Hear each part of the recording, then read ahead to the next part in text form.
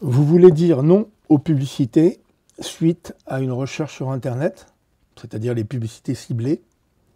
C'est un grand classique. Comment l'éviter simplement ou comment en profiter? Comment fonctionnent les publicités ciblées? Nous allons voir cela d'abord. Puis, comment empêcher ces publicités ciblées? Et puis les inconvénients que cela peut avoir. Et enfin, nous terminerons par les bloqueurs de publicité. Comment fonctionnent les publicités ciblées?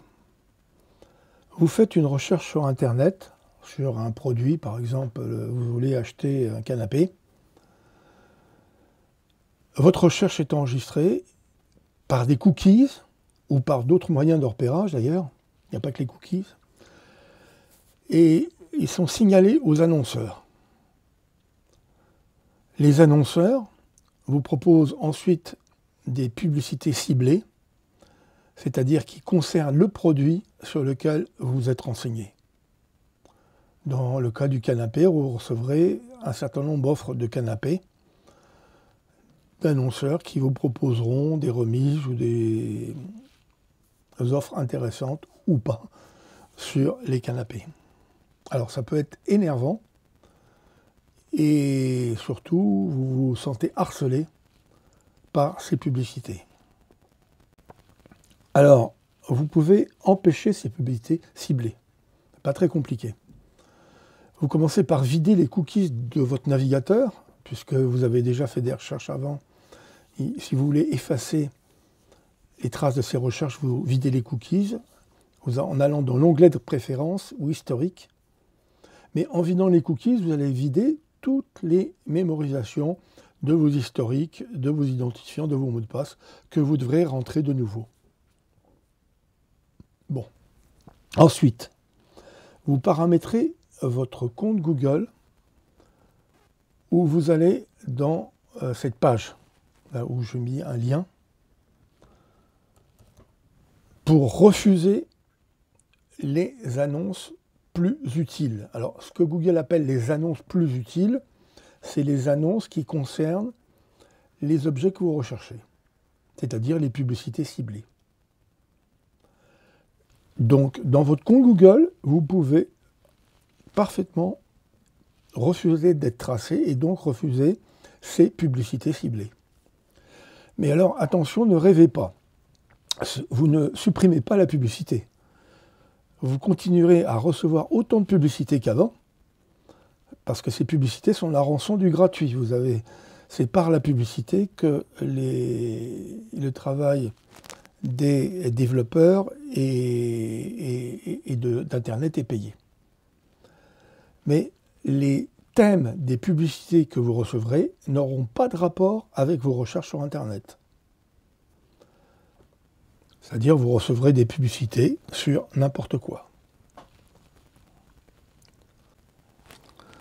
Alors je vous dis tout de suite pourquoi je ne fais pas cela. D'abord parce que je considère préférable pour moi de recevoir des publicités concernant mes activités ou mes préférences plutôt que n'importe quoi. J'ai d'ailleurs reçu souvent des propositions intéressantes suite à mes recherches. Je fais une recherche, par exemple, pour euh, acheter un, clavier d'ordinateur. Et si je ne suis pas pressé, j'attends un peu et je reçois des promotions dont certaines peuvent être intéressantes à la place des, publicités non ciblées.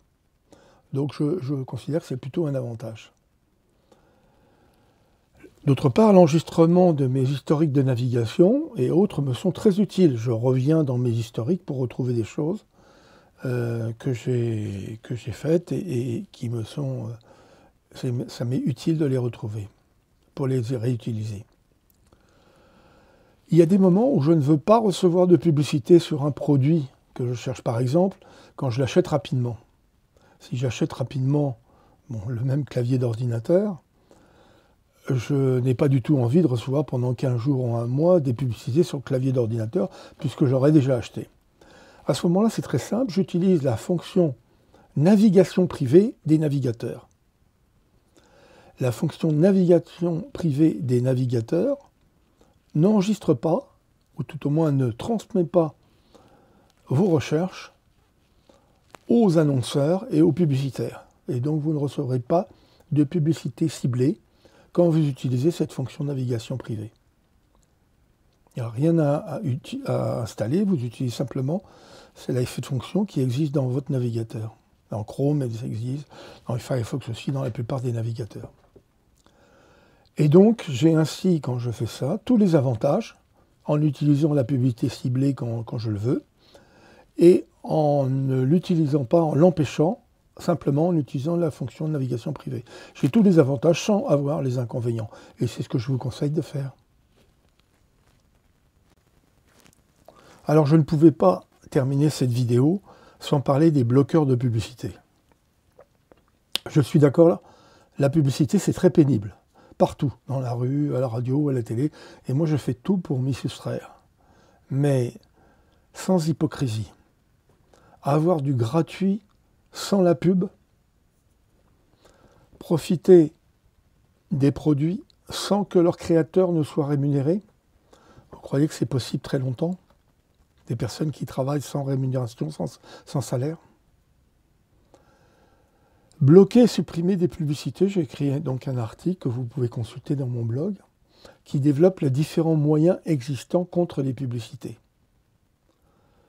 Il faut savoir, je l'ai écrit dans l'article, qu'il y a une course entre les bloqueurs de publicité et les sites qui bloquent ces bloqueurs et qui bloquent votre consultation sur leur site si vous êtes avec un de ces bloqueurs de publicité. Ils le détectent et ils considèrent que vous n'avez pas à aller sur leur site si vous avez un bloqueur de publicité. Ils vous demandent de le retirer ou ils vous empêchent de naviguer.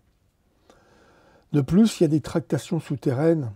C'est une soupe assez nauséabonde, puisque certains bloqueurs de publicité sont allés jusqu'à négocier contre rémunération le fait de ne pas bloquer certains publicitaire.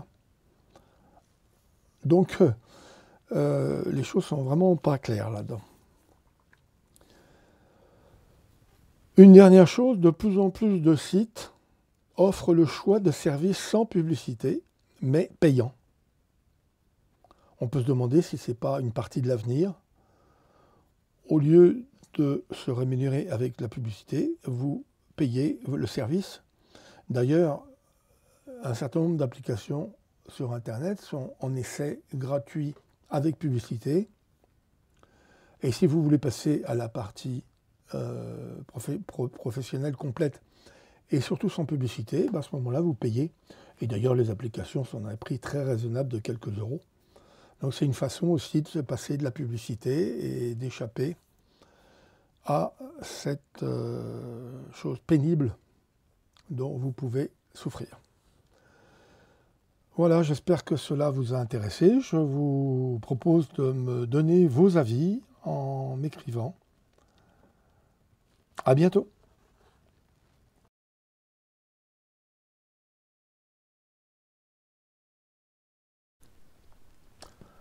Pensez à m'encourager et me soutenir avec un pouce levé, à vous abonner à ma chaîne YouTube, mais surtout à vous inscrire à ma lettre de conseils et d'information.